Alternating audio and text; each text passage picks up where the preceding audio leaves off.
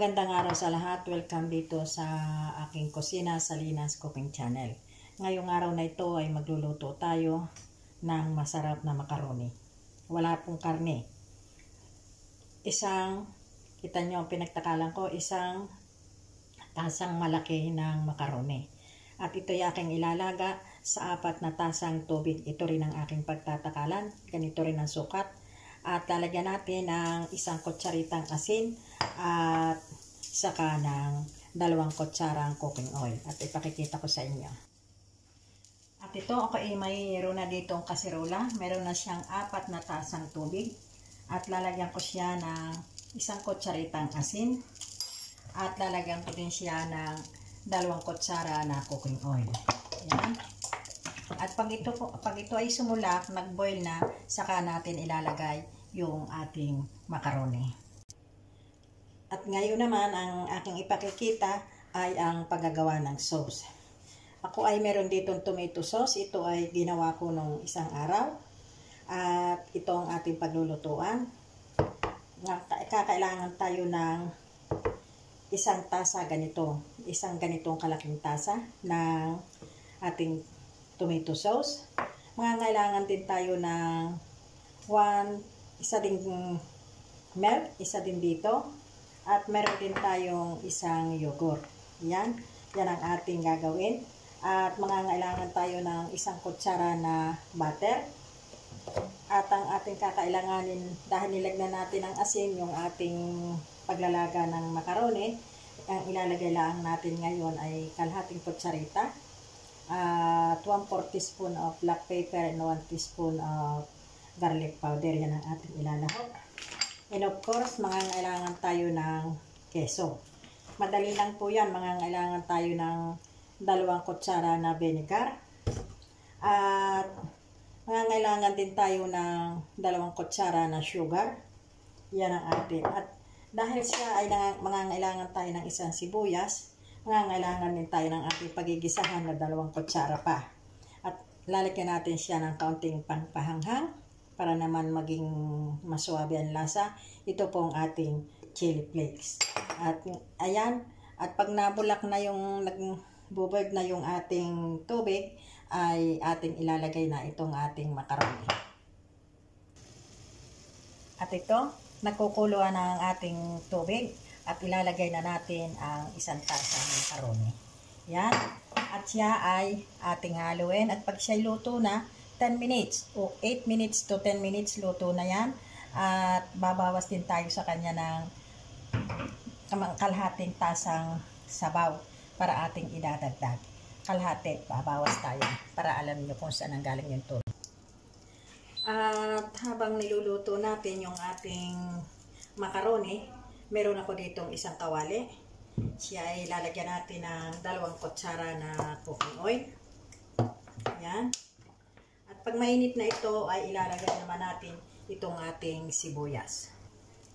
At ito, mainit na ang ating kawali at ilalagay na natin ang sibuyas. Yan.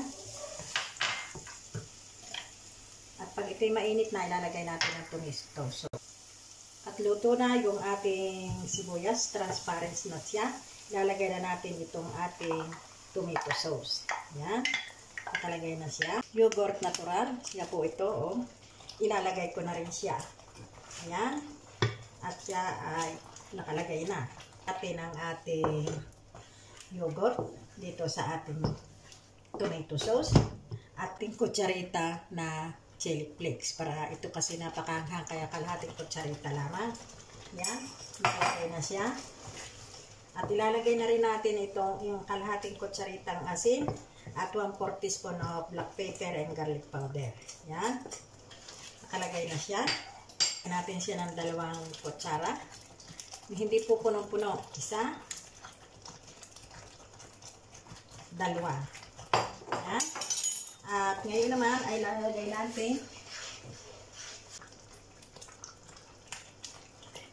isa, dalawa. Yan. Yan. Ang ating tasang sabaw ng ating makaroni na ating isasama dito.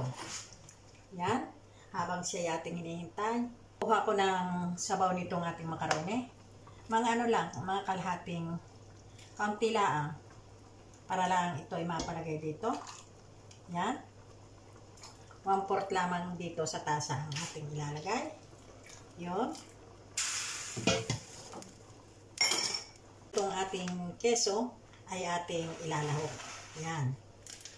Pag nailahok natin yung keso at tunaw na siya, ay atin siyang tikman at baka kung kulang pa siya sa asin, pwede nating dagdagan ang keso. At ngayon naman, ganito ang ating gagawin. At ngayon, itong ating makaroni ay atin ang hahanguin. Hindi ako maghuhugas nito, aasan ko lang siya ng tubig at atin na siyang isasama sa ating sauce. At ito, ilalahok na natin ang ating macaroni. Yan. At siya ay napakasarap nitong ating itong macaroni. Tanyo. At ngayon, siya ay lalagyan natin. Ito, o nyo, lalagyan ko siya ngayon. Ayan. At ito ay luto na. Nailahok na natin lahat. Ayan. Napakasarap po nito. Ayan, tingnan nyo.